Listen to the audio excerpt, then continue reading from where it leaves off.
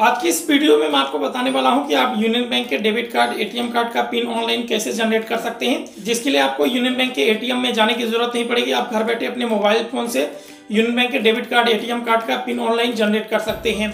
So guys मैं हूँ नीलेश और आप देख रहे हैं मेरा यूट्यूब चैनल सुपर टेक्नोलॉजी में आप सभी का स्वागत है। तो चलिए शुरू करते हैं।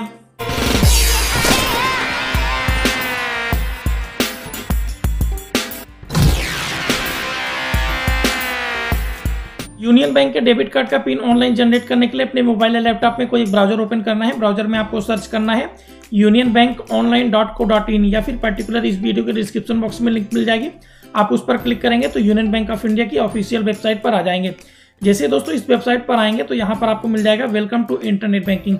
यहाँ पर जो आपको बैंक की तरफ़ से यूज़र आईडी पासवर्ड मिलता है तो आपको यहाँ पर डाल के लॉगिन करना होगा।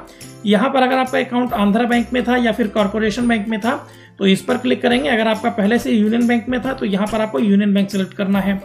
जैसे आप यूनियन बैंक सेलेक्ट करेंगे तो आपके सामने ऐसा स्क्रीन आएगा। यहाँ पर आपको रिटेल यूज़र लॉगिन का ऑप्शन मिलेगा। राइट साइड में इस पर आपको क्लिक करना है। उसके बाद यहाँ पर आपको नीचे आना है। स्क्रॉल करके नीचे आएँगे। यहाँ पर आपको कंटिन्यू टू लॉगिन करना है। जैसे आप कंटिन्यू टू लॉगिन करेंगे तो आप लॉगिन पेज पर आ जाएँगे। यहाँ से आपको जो बैंक की तरफ़ से यूज़र आईडी पासवर्ड मिलता है, उसको डाल के लॉगिन करना होता है।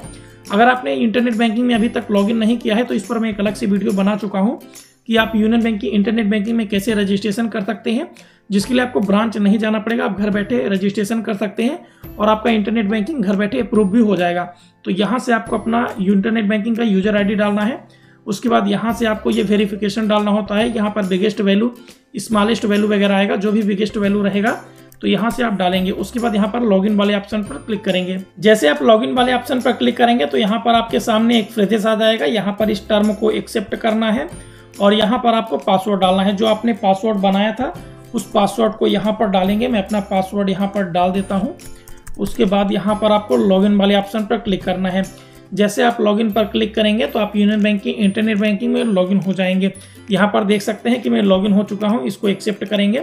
यहाँ पर आपके सामने डैशबोर्ड आ जाएगा आप लॉगिन हो जाएँगे। तो यहाँ पर आपको बहुत सारी सर्विसेज़ मिल जाएँगी, जैसे अकाउंट सर्विस है यूटिलिटी है डीमेट है ट्रांजेक्शन है। यहाँ पर आपको एक जनरल सर्विस का ऑप्शन मिलेगा। जनरल सर्विस पर क्लिक करेंगे तो यहाँ पर आपको सर्विसेज़ मिल जाएँगे। सर्विसेज़ में आपको यहाँ पर एक ऑप्शन मिलता है सर्विस रिक्वेस्ट का।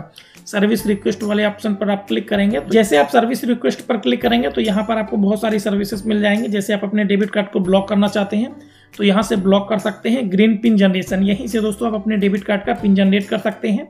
रिक्वेस्ट डिमांड ड्राफ्ट का ऑप्शन मिलेगा। रिक्वेस्ट न्यू चेकबुक यहाँ से आप चेकबुक के लिए भी रिक्वेस्ट कर सकते हैं। तो यहाँ पर आपको ऑपरेटिव अकाउंट वाले ऑप्शन पर क्लिक करना है। यहाँ से आपका अकाउंट डिटेल आ जाएगा।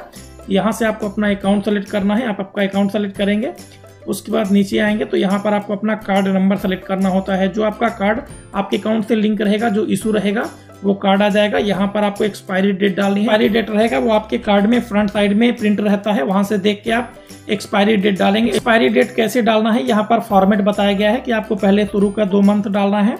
उसके बाद ईयर डालना है। जैसे आपका अगर मंथ है ज़ीरो सात है तो ज़ीरो सात डालेंगे। अगर पच्चीस ईयर है, यानी दो हज़ार पच्चीस है तो यहाँ पर आप पच्चीस डालेंगे ज़ीरो पच्चीस। अगर आपका ग्यारहवा महीना और दो हज़ार छब्बीस रहेगा तो ग्यारह छब्बीस ऐसे करके आप डालेंगे। उसके बाद यहाँ पर आपको सबमिट करना है। जैसे आप सबमिट करेंगे तो यहाँ पर एक नया स्क्रीन खुलकर आ जाएगा। यहाँ पर आपका अकाउंट नंबर रहेगा, यहाँ पर आपका कार्ड नंबर नीचे आएँगे तो यहाँ पर आपको पिन डालना होता है। जो भी आप पिन बनाना चाहते हैं उस पिन को यहाँ पर डालना होता है, नीचे आएँगे, यहाँ पर आपको रिकन्फर्म करना होता है रीटाइप वही पिन को आपको सेम पिन को यहाँ पर डालना होता है। नीचे आएँगे, यहाँ पर आपको ट्रांजेक्शन पासवर्ड डालना होता है और आपके रजिस्टर्ड मोबाइल नंबर पर ओटीपी आता है। जो मोबाइल नंबर आपके बैंक से लिंक रहेगा, उस पर ओटीपी आएगा। हमारे मोबाइल नंबर पर ओटीपी आ गया है, हम ओ डालेंगे।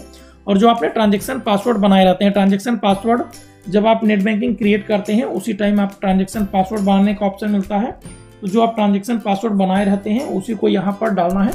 मैं यहाँ पर सारा चीज़ फिलअप कर दिया हूँ, देख सकते हैं। उसके बाद नीचे यहाँ पर आपको सबमिट का ऑप्शन मिलेगा। तो यहाँ पर आप सबमिट वाले ऑप्शन पर क्लिक कर देंगे। जैसे आप सबमिट कर देंगे तो यहाँ पर देख सकते हैं कि green PIN has been set successfully यानी आपका डेबिट कार्ड का पिन सक्सेसफुली सेट हो चुका है। इस पिन के ज़रिए आप एटीएम में कैश विड्रॉल कर सकते हैं या फिर ऑनलाइन कोई ट्रांजेक्शन करना चाहते हैं तो ऑनलाइन भी ट्रांजेक्शन कर सकते हैं। तो इस तरीके से दोस्तों आप अपने यूनियन बैंक के डेबिट कार्ड का पिन ऑनलाइन जनरेट कर सकते हैं। इसके लिए आपको अपने एटीएम मशीन पर जाने का ज़रूरत नहीं पड़ेगा।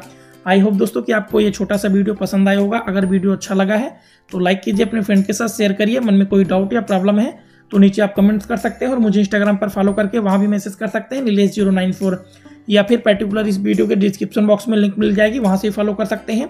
और मेरे चैनल को सब्सक्राइब ज़रूर कर लीजिए, क्योंकि मैं आप लोगों को तरह नॉलेजेबल एंड यूजफुल वीडियो लाता रहता हूँ। थैंक्स फॉर वॉचिंग मिलते हैं नेक्स्ट वीडियो में न्यू टॉपिक के साथ। तब तक लीजिए हिंद टेक केयर